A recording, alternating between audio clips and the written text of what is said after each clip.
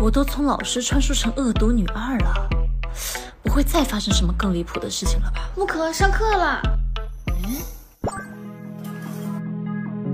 这是什么？你干嘛呀？哎呀，我要迟到了，我不等你了。哎，这显示的是人物好感度吗？哎呀，我这人太可以啊。哎，我可真是讨人嫌。小组作业快补上，别害我挂科。这好感度也太低了吧？木可，你又盯着我发什么呆呢？你也太自恋了吧！你这是写错了，记得改。哎，不是，你怎么？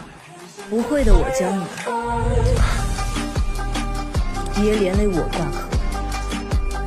木可，这个学渣居然在教韩琦，韩琦也太丢人了吧！这什么人物设定啊？难得遇上好感度及格的人。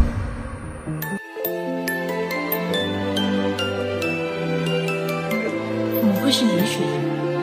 他应该讨厌我才对。不可，这么巧啊？你你也爱看小说吗？最近图书馆开放了评书，还挺好看的。给你，谢谢。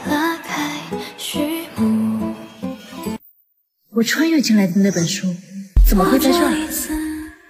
等等。